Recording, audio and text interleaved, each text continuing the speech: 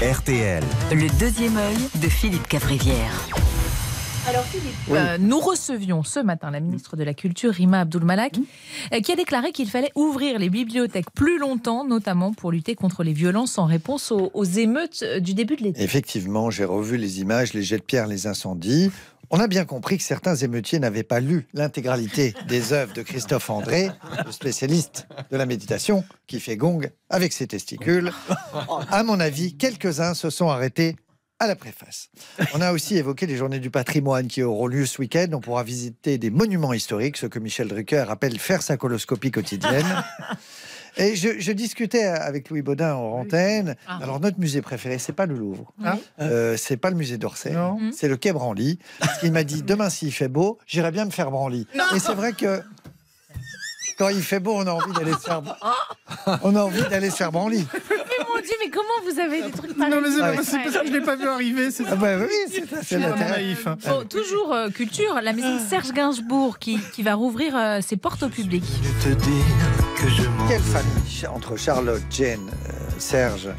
Très certainement un des plus grands auteurs et mélodistes français. Il n'aura fallu que 32 ans pour ouvrir ce musée à sa gloire, ce qui en termes de temps administratif français est assez raisonnable. Oui, oui, oui, oui. Alors on se rappelle de I Want to Fuck You à Whitney Houston. Oui. Elle s'en est jamais euh, complètement remise, la pauvre. Euh, bon, c'est qu'il picolait aussi. Euh, comme quoi le talent, ça peut sauver une personne. Parce que sans le talent, Gainsbourg, c'est quand même Dédé du Balto. Oui.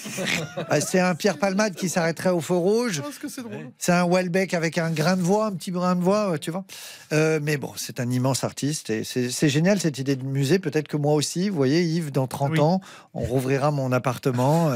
Et puis les gens se baladeront, euh, oh, ils verront mes manuscrits, comme Oui. ça, ils diront oh, tiens, regarde la, blague du petit bambou, il l'a peaufiné, il l'a réécrivé 100 fois pour trouver la bonne formulation. Puis le guide dira non, non, il, revendait toujours la même, il n'en avait rien à foutre.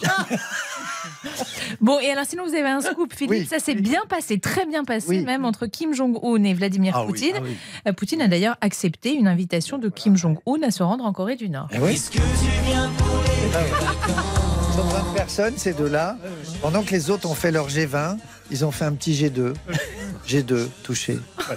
Alors, ils ont vécu un moment suspendu, ces moments d'amitié virile Oui. où la vie prend tout son sens, comme Verlaine et Rimbaud, comme Jean Marais et Jean Cocteau, ou les deux magiciens Siegfried et Royd. Alors, ils se quittent plus. En partant du train, Kim a dessiné un cœur sur la vitre avec la buée. Ah, vous avez vu que c'est les deux derniers copains de Poutine, c'est Kim Jong-un et Depardieu. Alors c'est vrai, il est peut-être dictateur, il est homophobe, il est violent, mais il n'est pas grossophobe. Ah Mon Vladou. Alors, maintenant, tous les soirs, Kim et Vladou s'appellent, ils sont allongés sur le lit, puis ils enroulent le fil du téléphone, comme ça, avec le doigt, ils disent Raccroche-toi. Non, toi d'abord.